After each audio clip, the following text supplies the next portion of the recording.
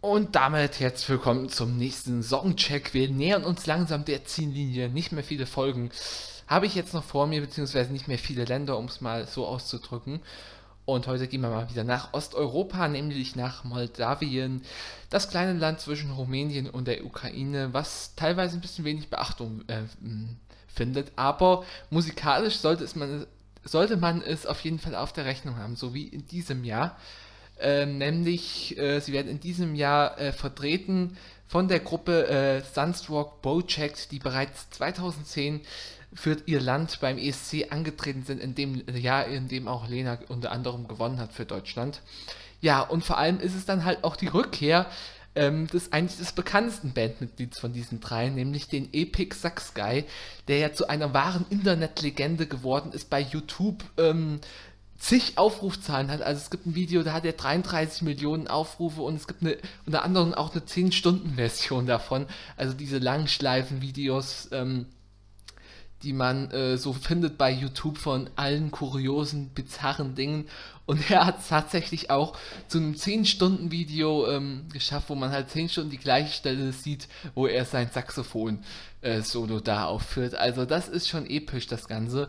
Und jetzt kehren sie eben wieder zurück mit dem Epic Sax Guy äh, und dem Song Hey Mama ähm, haben sich eigentlich relativ souverän im nationalen Vorentscheid durchgesetzt, natürlich weil sie auch einen Bekanntheitsgrad haben, auch außerhalb von Moldawien. Ich glaube auch in der Ukraine sind sie relativ bekannt. Das kann ja nur ein Vorteil sein, weil ja auch der ESC in der Ukraine stattfindet. Ist das auf jeden Fall schon mal eine gute Basis für einen guten Erfolg, den sie da ähm, schaffen können, eventuell.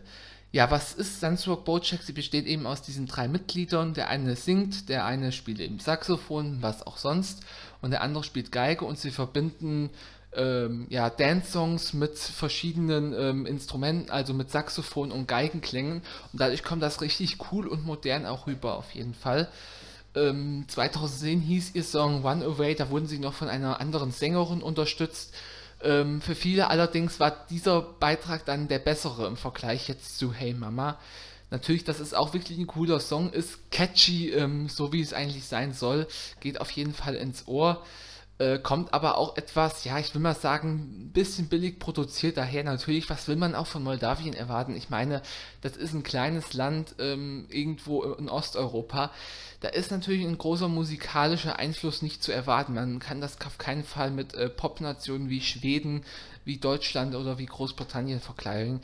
Dazu fehlt einfach die Basis dazu. Aber ich finde, diesen Song ist wirklich einer der besseren Beiträge von Moldawien in der Historie des ESC. One Away vielleicht nochmal die bessere Nummer.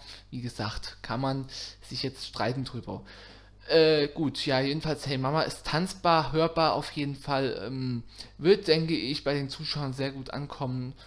Und so habe ich auch das Gefühl. Und ähm, ob es wirklich fürs Finale reicht, ähm, hängt wirklich davon ab, wie sehr sie den Rü äh, Song auch rüberbringen.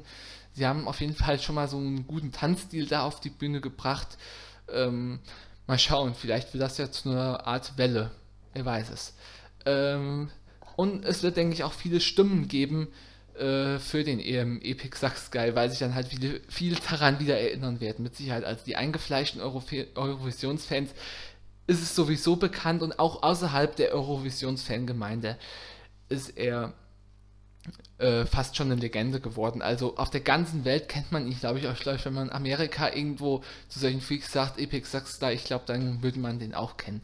Also ich glaube, der ist auch außerhalb ähm, des ESC wirklich zu einem Phänomen geworden und ähm, das könnte vielleicht den Ausschlag dazu geben, dass ähm, Moldawien nach ja, drei Jahren jetzt äh, mal wieder ins Finale zurückkehrt. Ähm, das haben sie jetzt auch wieder mal bitter nötig. Wahrscheinlich haben sie dann eben auch sie ausgewählt, die 2010 ja auch das Finale erreicht haben und dann, glaube ich, den 22. oder 20. Platz belegt haben. Ich weiß es gar nicht mehr.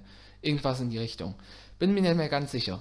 Gut, also wie gesagt, Hey Mama ist wirklich ein cooler, moderner, äh, hörbarer Song, lässt sich auf jeden Fall irgendwo im Club drauf tanzen, das steht fest. Äh, der, in der Halle wird es wahrscheinlich auch sicher sehr gut ankommen. Ähm, und wie gesagt, eine Finalteilnahme ist durchaus möglich für die drei Jungs. Gut, ähm, jetzt gebe ich noch meine Punktzahl.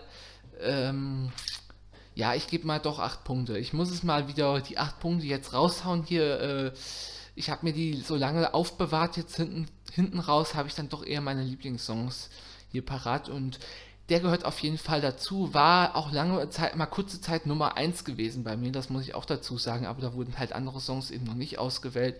Dieser Song wurde ja schon im Februar irgendwann ausgewählt und da kurze Zeit war es Nummer 1, aber wurde dann relativ sehr schnell entthront wieder, äh, weil ich auch etwas ja, genervt war äh, von dem von dem wiederkehrenden Klang und wiederholten Hey Mama, Hey Mama.